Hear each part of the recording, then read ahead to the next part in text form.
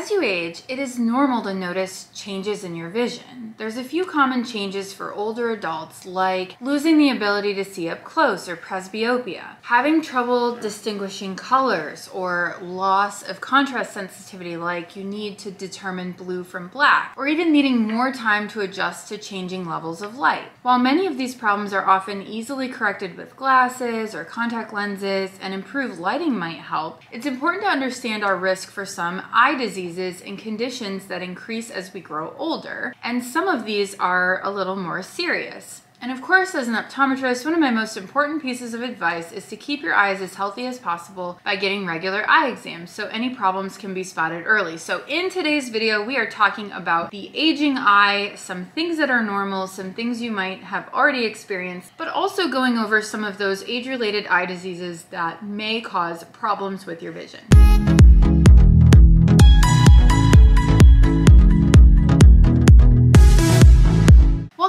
Eye School with me, Dr. D, where I teach you about products and treatments related to dry eye syndrome and eye beauty so you can have healthy, beautiful, comfortable eyes. And like I said, I'm an optometrist. I publish videos weekly about all sorts of topics, usually dry eye and ocular aesthetics, but I'd love to have you here on the channel. So give a little love tap on the subscribe button down below so that you can see all of our videos. All right, so let's talk a little bit about what you can do to protect your vision as you get older. So the first thing I would say, and this is so easy, have your eyes checked regularly by an eye care professional, either an optometrist or ophthalmologist. Optometrists are the primary eye care professionals. We do a wonderful job at routine eye care, primary eye care, and so seeing an optometrist yearly is a great idea. So by doing this, you can find and treat any problems early and help protect your vision and prevent vision loss. Before going to an eye doctor, make sure to make a list of all of your questions and concerns to share with the doctor. I love it when my patients are organized in this fashion so that I don't forget to address anything that's important to them during their exam. We also want to know what medications you're taking. Some of these medications, in fact, many medications can affect the eyes. I get this almost every day. I would say every day somebody will say, well, I take such and such for my high blood pressure or this or that, but it that doesn't affect my eyes. And the reality is there's a whole host of systemic conditions that do affect the eyes. Hypertension, diabetes, autoimmune diseases, all of these things can affect the eye. And there's even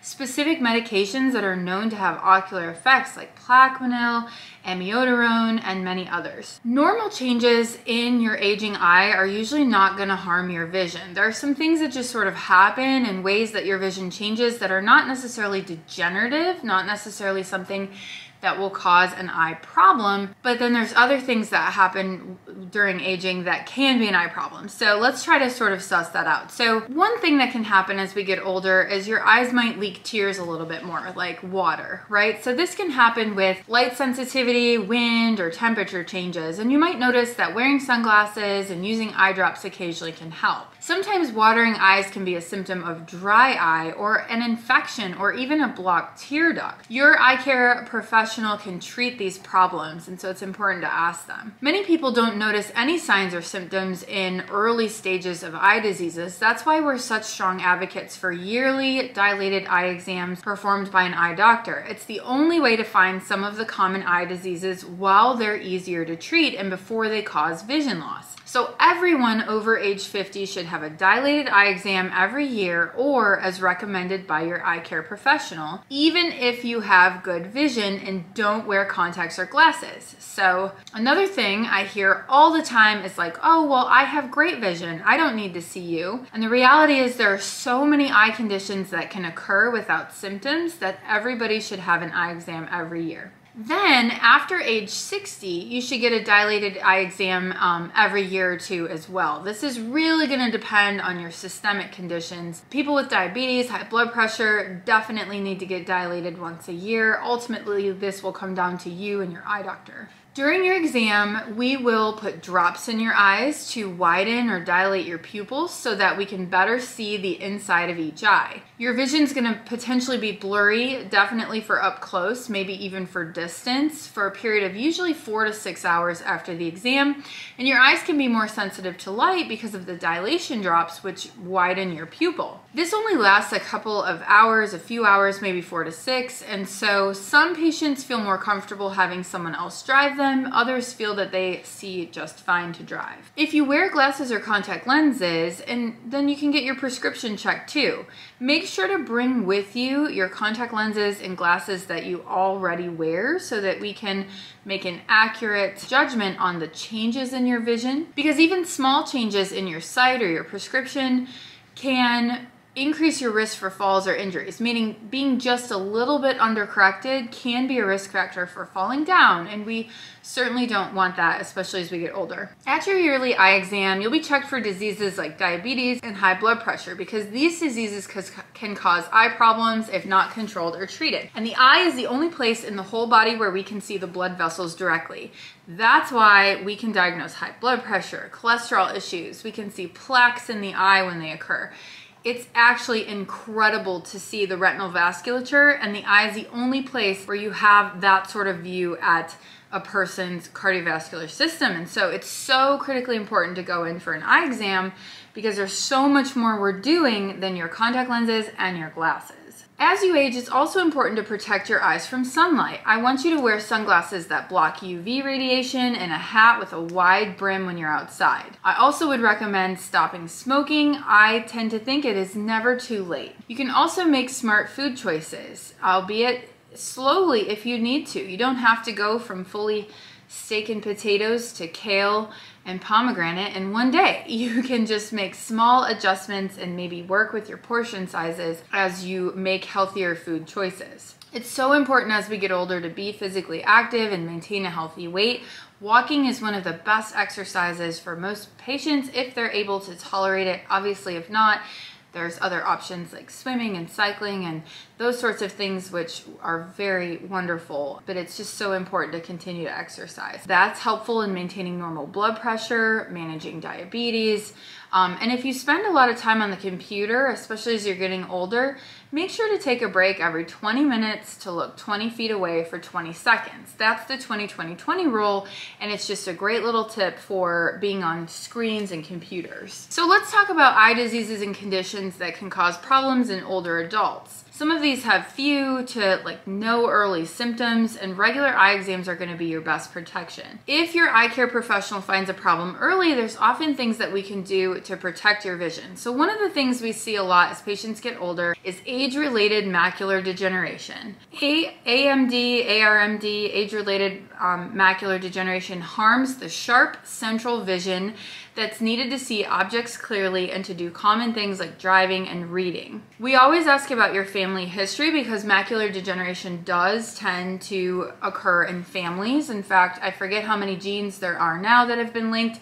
I used to do genetic testing in my clinic, but we know that macular degeneration runs in families. However, what you inherited from a genetic standpoint is not necessarily what will be expressed you can impact whether or not your macular degeneration to some extent. You can impact whether or not it's expressed by not smoking, protecting your eyes from sunlight, eating green leafy vegetables, getting lots of omega 3 in your diet. And so I have patients who have lived a healthier lifestyle than maybe their parents and have not yet gotten macular degeneration. There's a couple of different types of macular degeneration. There's dry and there's wet. This really isn't a video to go all the way into that. But typically speaking, if you have some early drusen, you know, your doctors notice some early drusen, that's dry macular degeneration. And that is typically less severe than wet macular degeneration, which is the one that causes more sudden and severe vision loss and requires shots in the eye. Another age-related problem can be diabetic retinopathy, and this is because if you are diabetic, it often develops slowly, often with no early warning signs. Sometimes we are the first ones to diagnose diabetes in our patients and recommend um, blood tests be done. When you have diabetes, it's sort of a matter of the level of control and the amount of time that you've had it that tend to impact whether or not you have eye signs, right? So these are the, we can't control when you were diagnosed with diabetes, but we can control the control level. So, keeping your blood sugar, blood pressure, cholesterol, any additional systemic illnesses you have, if you can keep more of those under control, that can help prevent diabetic retinopathy or even slow its progress in those early stages. It's really important to catch those later stages early because the later stages involve neovascularization, which is the growth of new blood vessels. And if you have the growth of new blood vessels, you have to do laser, um, PRP is what it's called, to stop that from getting worse. Without doing laser, the implications of having neovascularization in the eye can be pretty bad. You can end up with retinal detachments, tractional retinal detachments, bleeds in the eye, bleeds in the vitreous, and significant vision loss, if not blindness, from that diabetic retinopathy. So if you have diabetes, don't put off your eye exam. Then we have cataracts, incredibly common. It's clouding of the eye's lens that causes blurred or hazy vision. I did a whole video on the types of cataracts there are different types. We have nuclear scler sclerosis, which is like yellowing of the lens that comes up. We have cortical changes, which look like little bicycle spokes in the lens and cause a lot of glare. And then there's posterior subcapsular. And then there's other types of cataracts too. We have traumatic cataracts and Christmas tree cataracts and posterior polar. There's other types, but the three most common I just mentioned, it's sort of variable how those are gonna affect your vision. And some of them do come on really quickly. You might have been told, oh, they're early, they're baby cataracts and then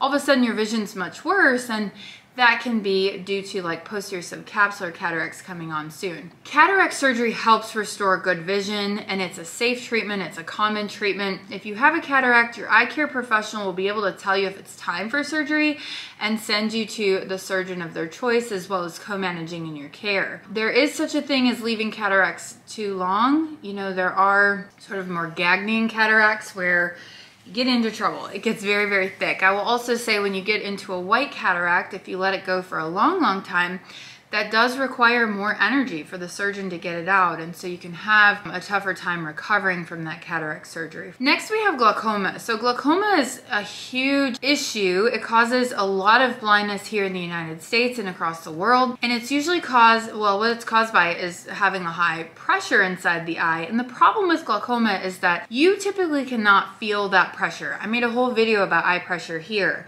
But if you don't treat that pressure, it can lead to loss of nerve fibers of your optic nerve. And your optic nerve is so important because it connects the eye to the brain. So it really is that communication line. And if that sustains damage, you can lose vision from that. The problem again, you don't feel the high pressure, you don't notice any vision loss until it's really, really advanced. And so you have to have eye exams to watch for glaucoma. We can detect rising eye pressure. We have incredible technology now to give us information about your optic nerve and whether or not it looks glaucomatous. And we can treat glaucoma. This is the thing. We can treat it early with prescription eye drops, laser surgery, and even interventional um, filtration surgeries to help normalize that pressure and prevent you from losing vision.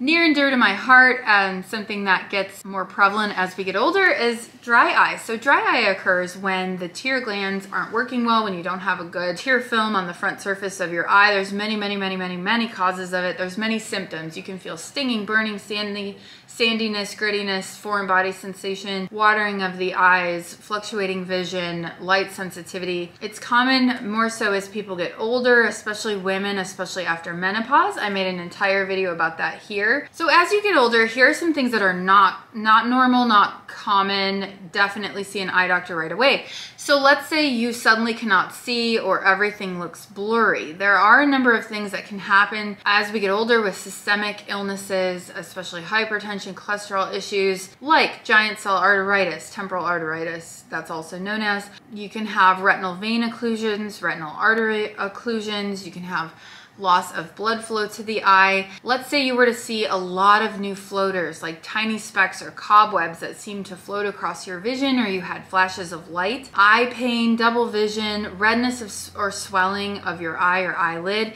Those are all things to call your doctor for and get an eye exam.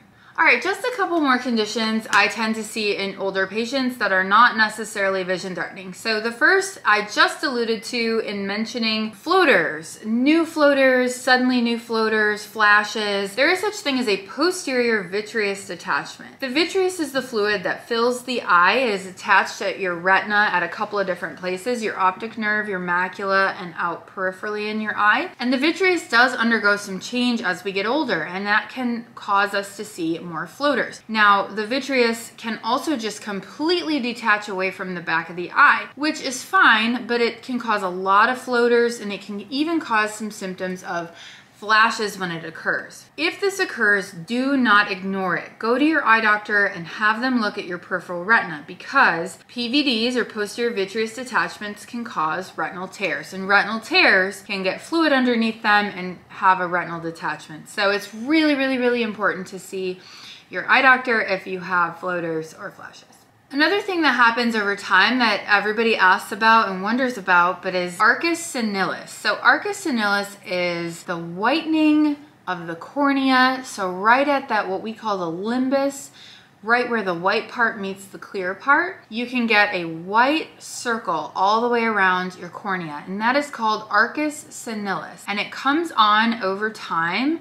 It also, if it happens when you're younger, can be due to high cholesterol, but this is something that we see a lot in older patients. And sometimes my patients will say, why are my eyes turning blue? But it's that white circle that goes around. All right, so I hope you enjoyed today's video about the aging eye and it gave you some guidelines as to when you should see the eye doctor, which honestly, just go see the eye doctor every year. There are so many aging concerns that you don't have to lose vision from. We can help you with that. So please go see an eye doctor every year if you do nothing else. But I hope you've enjoyed it. I'm glad you've made it this far. Thank you. If you haven't already subscribed to my channel, please do that and hit the bell so you don't miss any notifications. That's it for today's Eye School class is dismissed.